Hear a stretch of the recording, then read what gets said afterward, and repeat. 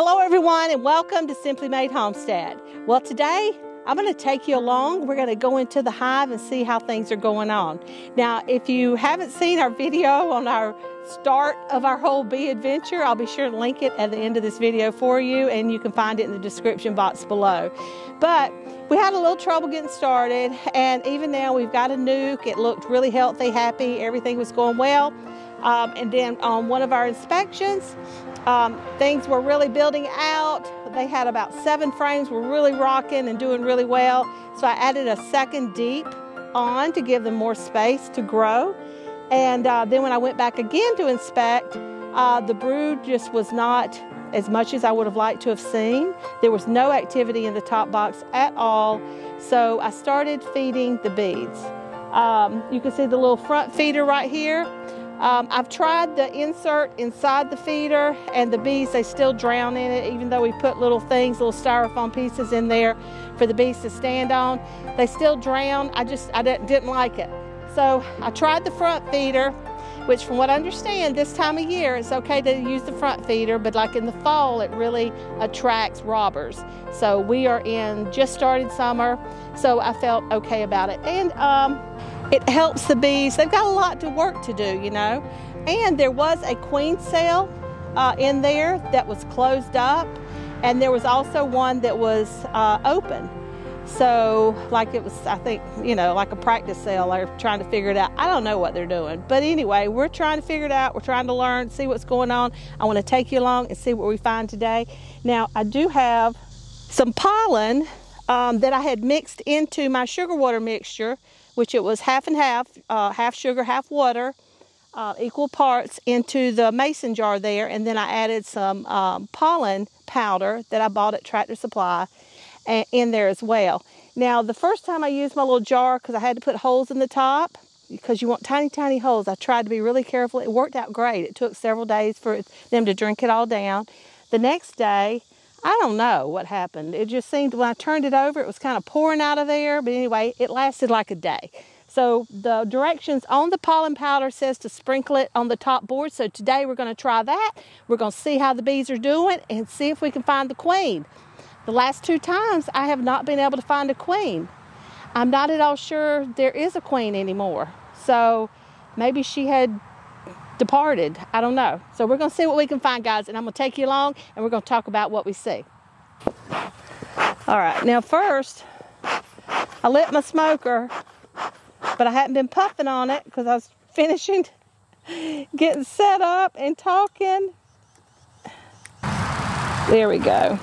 I put a piece of canvas, or not canvas, uh, burlap in here because it helps make the uh, smoker last longer but I didn't keep pumping it long enough to keep it going once I did. And I think it kind of suffocated it. So we're going to get it kicked back off here. I need a little carrying case or a bucket. A bucket would be great. I need, the Lord knows I got plenty of those. Need to get a bucket and put all my tools in. So I'm out here trying to balance everything. Get out here to the hive. And my piece of uh, burlap there, I just cut a piece off. I got a big old long piece I actually used as a runner on my table at Thanksgiving on top of the tablecloth. And so anyway, I just cut off the slip and then I tied it up in a couple of knots so it doesn't burn up really fast. It has to work at it a little more. We've got some really good smoke going. I didn't wear my hat today because it just makes me even hotter when I wear it but it helps to keep my hair out of my eyes and the veil off my face in case a bee tries to come in here and uh, wants to land on my veil and sting me. All right, y'all. Now, the first thing we're going to do, got to make sure our smoker's going good here. And you always want to move slowly, no sudden motions. Try not to be too loud. And we're going to smoke them right here in the front because these are the guard bees. And we want them to know it's okay. We're not here to hurt you. But what it actually does, it masks their pheromone and keeps them from sending out an alert that someone is messing with their hive and to bring the troops. now, yeah, you do always, it's really easy to forget about your smoker because you get interested in what you're doing and plus when you're new, trying to remember everything. So you want to be sure and keep your smoker going. First thing we're going to do is give a little squirt just to let them know we're here, kind of calm them down. We're coming in to take a go come visit.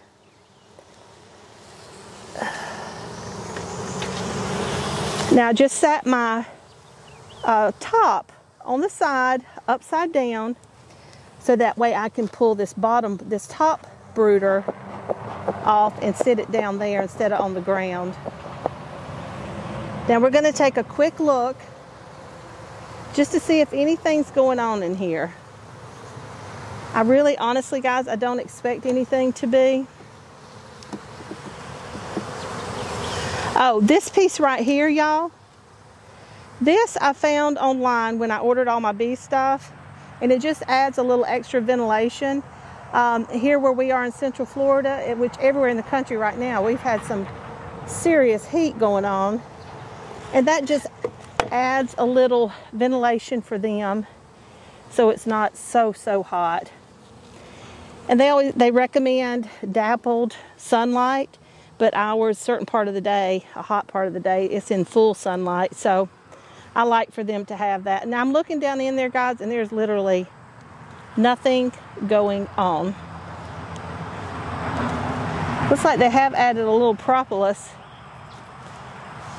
and kind of pulled the boards together there, kind of sealed them together, the frames. But you can see there's there's bees on it, but there's nothing going on. Now, all right. So we're to put the frames nice together really well. And we're to, let's see if this is stuck together. I bet it is. Oh yeah. They like to seal up all the cracks with propolis. So I'm just to stick my hive tool in there, kind of crack it open a little bit.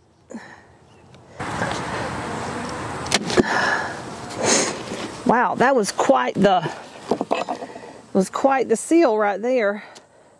All right.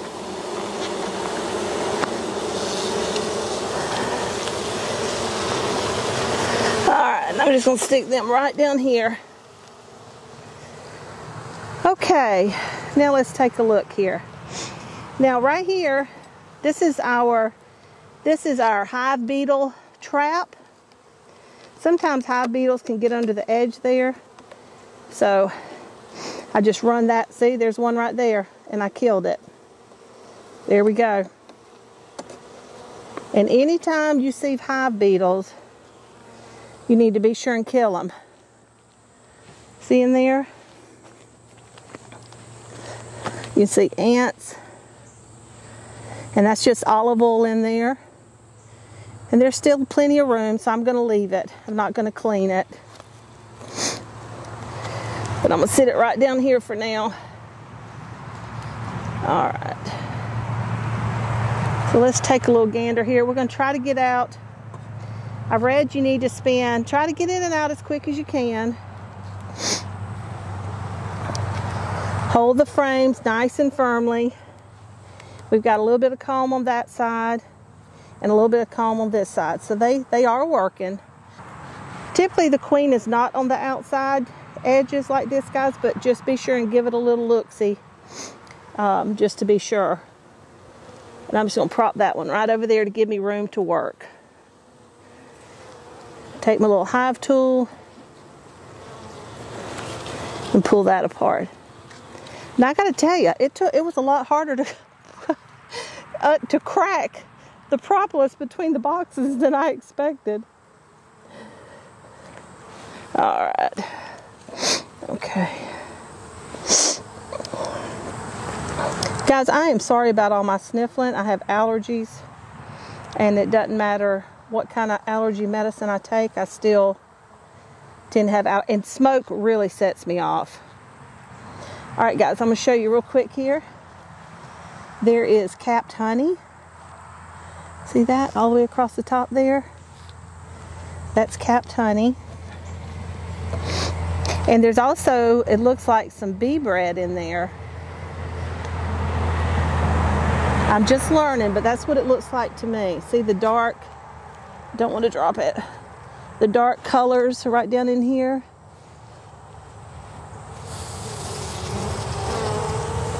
If it's just a color and there's no shine to it, that is the uh, pollen. And if it's just a shiny liquid, then that is nectar. And that right there was a little, it was a, had color, it was, it was a both. And that's, uh, from what I've read, I'm no pro, but from what I've read, that's how you can tell it's bee bread.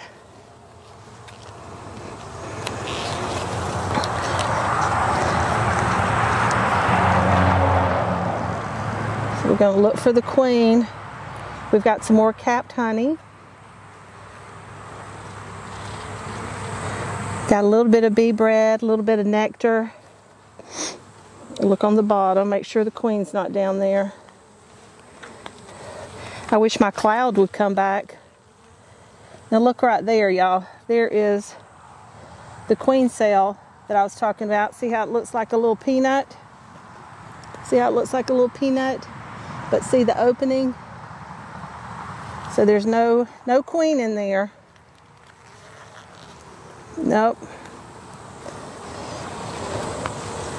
Lots of pollen, lots of bee bread. A little practice queen cell.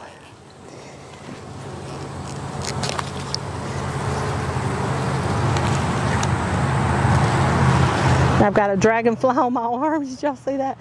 It seems like every time I come outside, I have this green dragonfly that comes to visit me and hangs out with me. I would sure love to see a queen.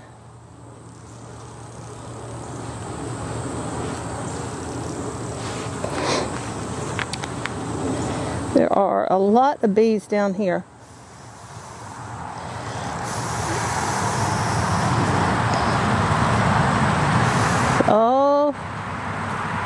Guys, there is a queen cell right there that they were all over the top of. There's another one right there. That has something in it too. Both of those have something in it.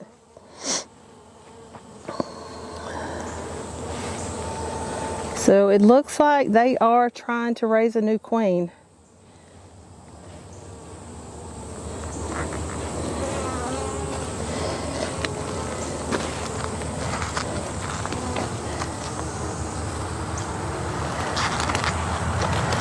Turn it around real quick. I want to try to see in it with the sunlight shining in there.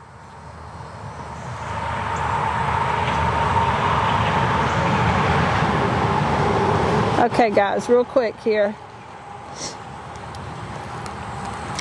See this right here? I don't want to squish any bees.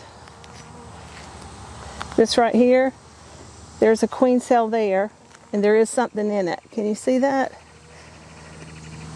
And there's also one right here where that big hump of bees are. Right here. And there's something in there too. See it?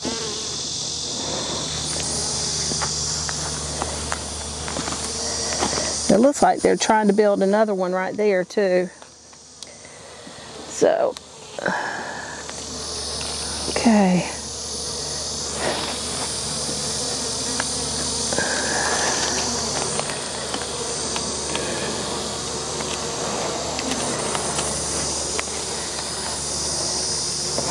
There is a little bit of capped brood in here.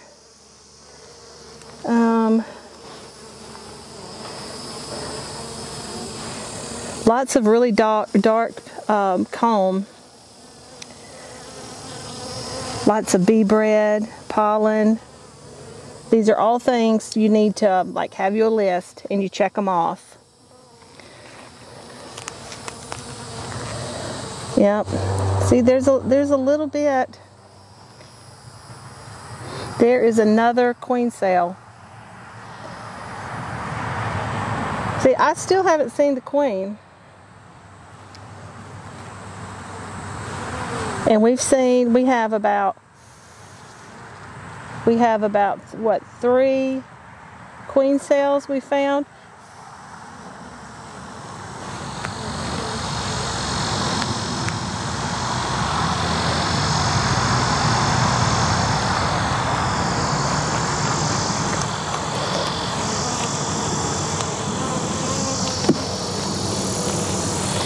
Seeing everybody's nice and calm. Just work slowly and monotonously. And uh, now, from what I understand, there are some bees out there that are a little ferocious. But these are the Southern Italian. And they're known to be very calm, which is really good for a first time beekeeper.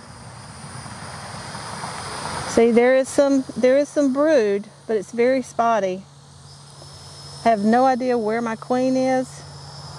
One thing is really good though, I have not seen any, um, I have not seen any small hive beetles. And usually I do see a few, not many, but I do see a few. And you saw them in the trap, so we know they've been in here.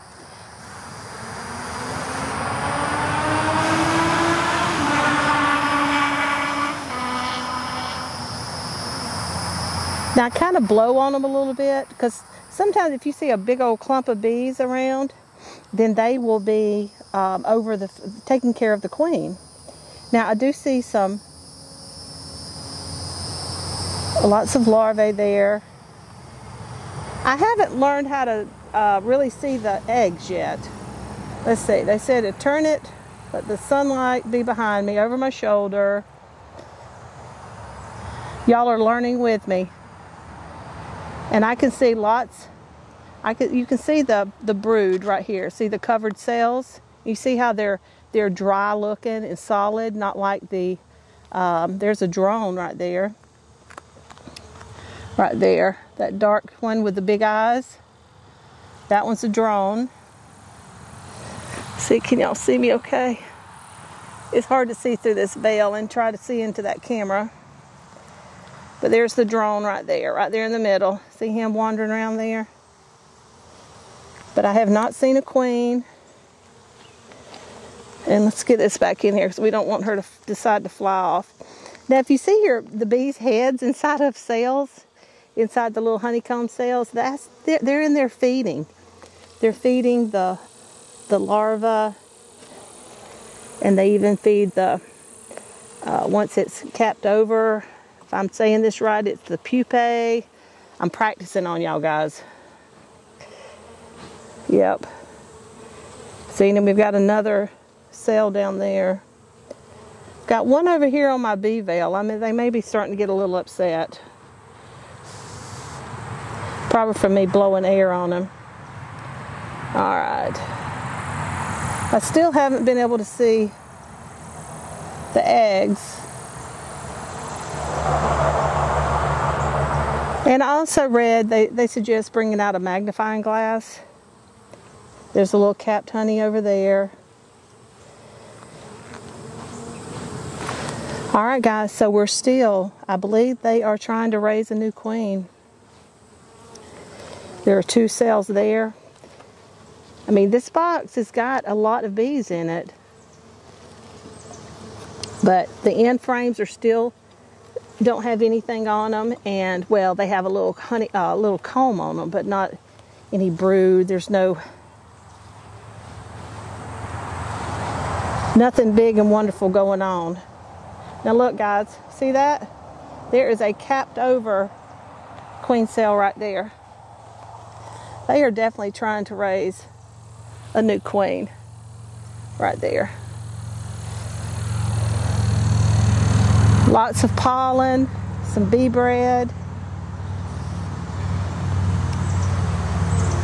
We've got lots of sunflowers. It's nice, pretty yellow pollen.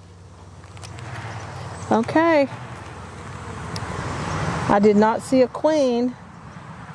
She's got to be somewhere, and I'm just missing her. I mean, I just, I don't get it.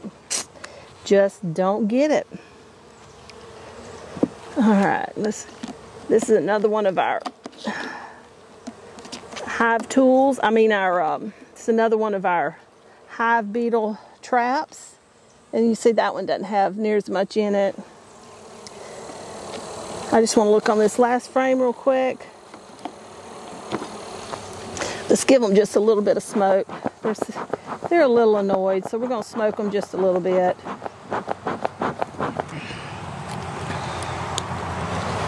Look in this last one, and then we're going to put it back together. All right. See, there is not much over here at all. There is some capped honey. And this side, very little comb. So, these guys, they are hanging in there and they are trying really hard to revive their hive. So we're going to help them out today. Oh, Lordy. Smoker decided to kick back up. All right. Let's push all the frames back together. Make it nice and snug. No cracks, because if there's cracks, oh my gosh.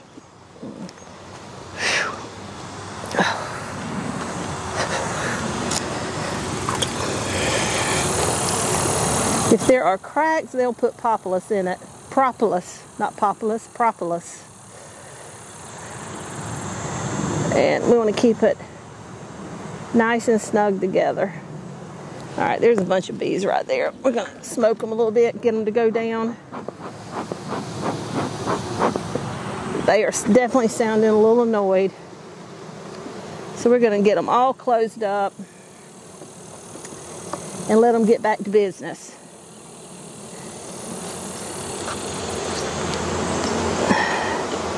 Put our last frame back in here.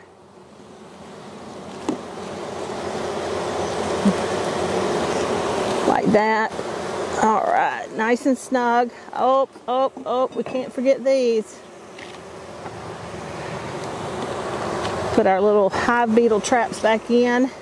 Hive beetles, usually when I've found them, they've over on the first couple of frames. Uh, not really first few frames there, so I like to put them on the sides and it's working really, really well. All right, we're gonna put our other deep back on. Oh, it stuck to the ventilating thing. Isn't that just my luck? The propolis made it stick. Lordy mercy, Marian. Oh, there we go. All right. We're going to slide that on there.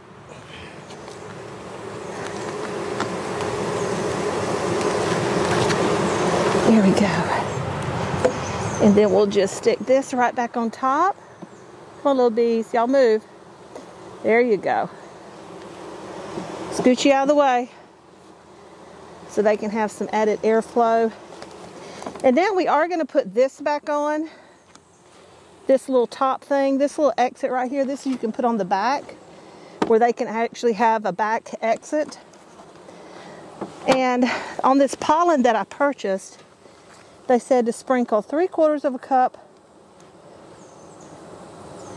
How's that to work? Oh, they're to come up here. well, how am I to flip that over? Oh, Lord. And I would have liked that to be on, on the bottom. But it didn't turn out that way, so we're going to leave it like that for now. And I will come back out and check on these again in probably another week. Now, typically with beekeeping, they tell you, you know, to at the most do it every couple of weeks. But because I, we are, you know, apparently we're having some problems as far as the queen goes, and uh, we're trying to feed the bees. So I am going to come back out and uh, check on them again to make sure I don't need to add some more pollen because I want them to be well fed, you know. Want them to be well fed and that way they can uh, build lots of comb. They can put their work here and not so much out in the fields trying to collect pollen and uh, to build their hive. So we're going to feed them for right now to help make them nice and strong. And there's lots of vitamins and minerals and things inside that with that pollen. And they do look better than they did last time I was in, which was about a week and a half ago. Um, well, no, about eight days ago.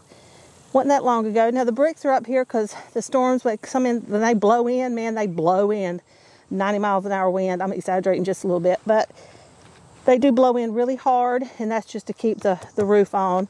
Now back here, you can feel a crack underneath this lid, y'all. And so I pushed it, made sure the crack was big back here, so they can go in and out of that little exit, that little extra exit. Now up here, I am going to, since we've replaced, come on smoker, come on baby, kick it up. Now when I added the um, this little reducer on here, I had it where the big side was where the bees could come in and out, but the um, feeder, the front feeder, that's where I had to put it so it would fit snugly in there. Now I am giving them some extra space so they can have lots of room.